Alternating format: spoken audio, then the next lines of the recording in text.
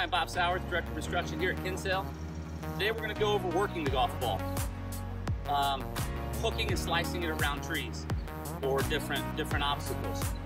So if you're familiar with TrackMan, we know that curving the ball has to do with the relationship between the path and club face. So for me to hook this ball, if I hit it, I'm on number five here at Kinsale.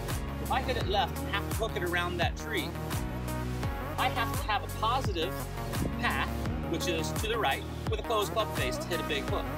Now, if the easiest way to accomplish this is to point the club, point the club face at the target and close my club, close my stance. So I'm aiming 20 yards to the right, but my club is at the target.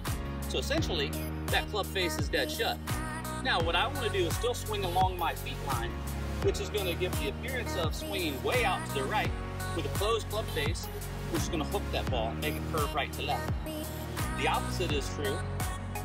If I hit it on some hole and I have to slice it around a tree, I do the exact opposite. I aim the club at the target and aim my body 20 yards left and I swing along my body. Now, that gives the appearance of an open club face and my path going way left or negative with an open club face will produce that desired slice around a tree.